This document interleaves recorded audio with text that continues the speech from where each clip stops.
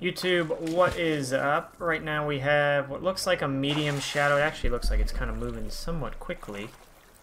To try to get closer and then dive down onto it.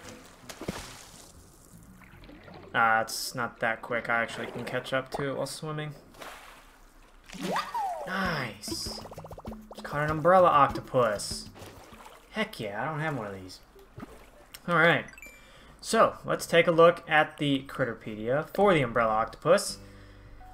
This creature is available March through May, and then again September through November. Uh, as you can see, it is available all hours of the day, and uh, as you saw in the video a moment ago, you saw it's it's a medium-sized shadow, and it moves, you know, at a pretty normal speed. It's not super slow, but it is slow enough that you can swim up and catch up to it.